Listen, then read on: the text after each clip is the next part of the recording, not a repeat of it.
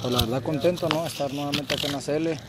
Eh, obviamente pues sabemos que no estamos pasando un buen momento, que no son las mejores circunstancias, pero creo que somos privilegiados siempre por ser llamados acá y sabemos la responsabilidad que conlleva estar en la selección. Esperamos eh, seguirnos preparando y poder llegar de la mejor manera al partido del próximo viernes. ¿no?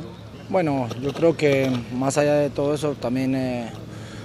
Eh, Acá hay buenos jugadores, ¿no? Hoy tal vez me toca ser uno de los más grandes, eh, como en su momento eh, el papel mío era estar entre los jóvenes. Hoy me toca estar entre los grandes, eh, aceptar el, el rol, recibir las críticas y sacarle lo, lo, mejor, lo positivo, tratar de respaldar a los compañeros y hacernos fuerte dentro de la cancha.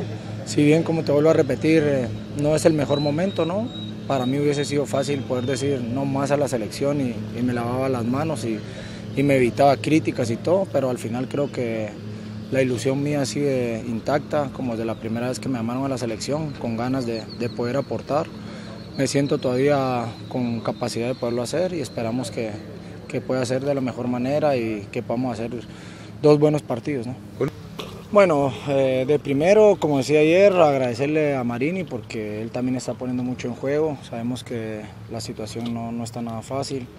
Eh, viene de, ser bicampeón, eh, está poniendo mucho en juego en, en, estas, en estas dos fechas y, pues es de admirar, ¿no? Yo creo que también él tiene el deseo de poder trascender y es respetable. Trataremos de poderlo apoyar de la mejor manera, de unirnos y sacar esto adelante y después Hemos eh, trabajado estos dos días, de a poco lo vamos conociendo, eh, por algo he conseguido eh, lo que hace muy poco todos sabemos y esperamos ahora podernos hacer fuertes acá y poder respaldar esa confianza que